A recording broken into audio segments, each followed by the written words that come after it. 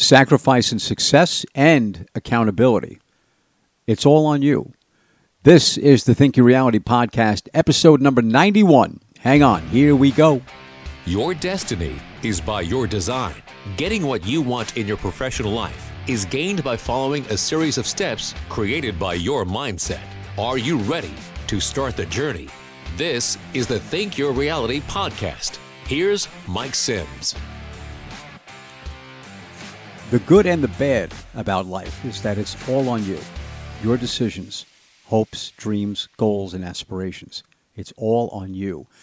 The great news is you do have all that you need to get out of life that which you have set your sights on. Are you going to need help, encouragement, and some guidance? Yes, absolutely. Anyone and everyone that reached heights did so with the assistance of others. And that's why I'm here. This is the Think Your Reality podcast, episode number 91. You have to be different and understand that most people never reach the level of success or life designed that you will. By virtue of you being different, you will attract your level of critics and naysayers. It's absolutely going to happen. I can tell you that with certainty. Some of them are going to be family members. But also, they will vacate the split second you hit it, or will be the first to say they knew you would do it seen that as well, and so will you. Difficult choices. The tried and true versus the unknown. The what everyone else has done versus the extraordinary. The idea that success is meant for others and not you is an absolute fallacy. Those people that have told that to you in your life believed it for themselves, and therefore they believe it for you. They can believe it for themselves to their heart's content. It's not true. It is absolutely not true. And history has taught us that people that have started with very meager beginnings have attained some absolutely awesome wealth and great influence in their lives, and you are no different than them. You won't get something for nothing, and that's the truth. You are going to give up some of what you are accustomed to and make some sacrifices. It's expected. It may be less television and even less excuses. Both of them are very good. It also may be the self defeating attitude and activities, and those are an absolute must to discard as soon as you can reinventing yourself and getting comfortable with that feeling of uneasiness. Don't worry, it will pass. You make your new norm. Give it enough time to take hold.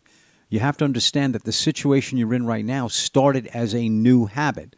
If it doesn't suit you, we're going to change it. What do you give up versus what will you gain? Most people, though, they may not be excited about what they've accomplished in life. They do fear loss. Better to have what they have than to come away with nothing. It's a defeatist attitude and one that needs to be abandoned. If you're going to get where you deserve to be, you cannot accept anything in your life with a clenched fist. You have to let go of some of the things that you know you need to let go of in order to get the things that you know you want. It's a little bit of a habit change, but we're going to work on it through the podcast. You know, the amount of TV watched a day by the average person is two and a half hours. 8 billion videos watched every day on Facebook. 500 million people watch them on a daily basis. These are your competition. These are the people that want you to join them because they know they're going nowhere and they know misery loves company. So these are the people that you're competing with in life. starting to get a sense that you are actually designed to be successful depending upon the choices you make. Sacrifice to success. Is your dream going to work? It will if you do. It will if you continue on the path and continue to develop a winning mindset and disregard the critics and the mistakes. We've touched on that. As we have discussed in a previous podcast, you're going to pay either way.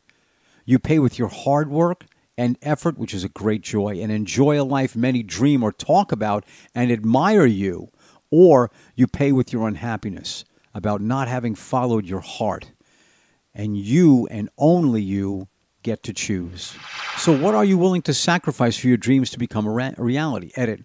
So, what are you willing to sacrifice for your dreams to become a reality? When it comes right down to it, you're not sacrificing a lot. Television, social media, etc. A toxic work life that you may have now, Facebook videos, complacency. Add a balance of life and keep your priorities straight, but stay focused on what you're doing. Value your values and see what makes sense to spend less time doing. Personally, time spent with my wife, my kids, and children in law is critical to my happiness.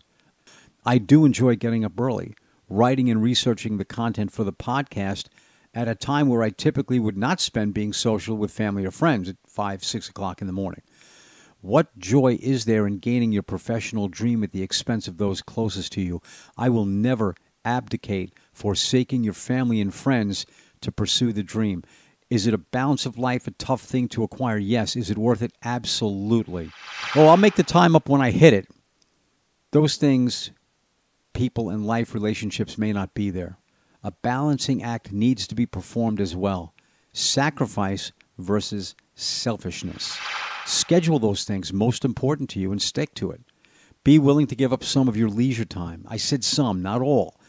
Downtime is critical to you not burning out and losing your focus. Sacrifice your comfort zone. How comfortable are you if you're still in search of your life's goals? Think about that for a minute. Sacrifice your current mindset.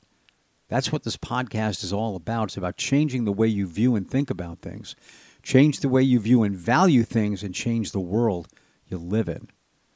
My name is Mike Sims. This is the Think Your Reality podcast. I'm grateful for your time, and as always, I wish you an absolutely awesome day as I know and believe in my heart, and I'll convince you at some point in time you deserve nothing less. Thank you so much.